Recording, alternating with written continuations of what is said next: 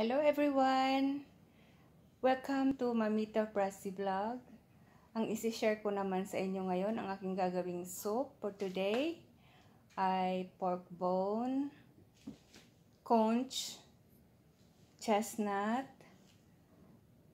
monkey head, tapos yung aking mga herbs, dates, brown dates, foxnut, at saka ito ay ginseng, saka yam, and then this with the other one. And is, itong isa, itong isa ay lotus seeds.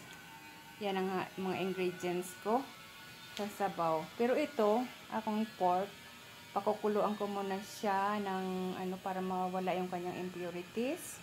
Pati itong aking cones. Papakuluan ko rin siya. Sandali.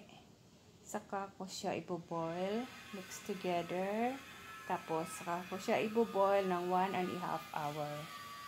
Yan ang soup, soup ko for today. Papakita ko sa inyo mamaya guys. Pinakita ko muna sa inyo ang aking mga ingredients. Okay.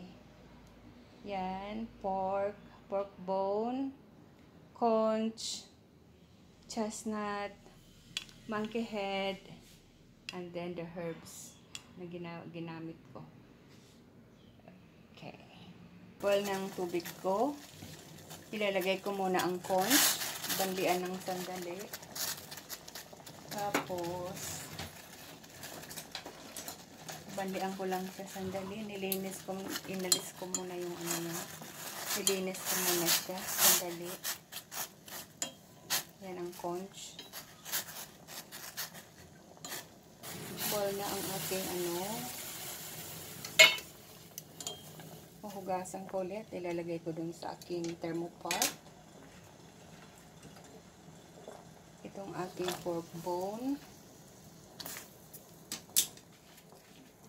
Bablance ko din siya sandali para maalis yung mga ano, impurities, mga ano. Ito naman yung aking thermopot. Kaboil na rin siya.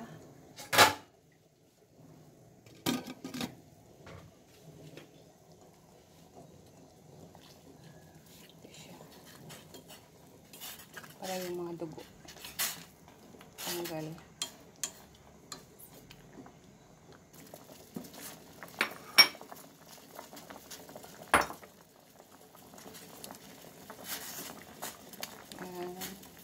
Alis na yung kanyang mga ano, ano,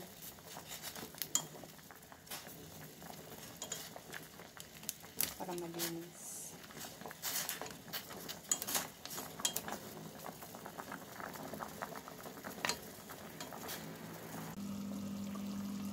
Ito na guys ang aking thermopot.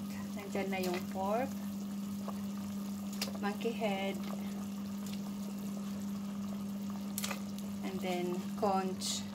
Ito ay conch. Tapos yung aking herbs. Lagay ko na rin. Boil ko siya ng 1 and a half hour.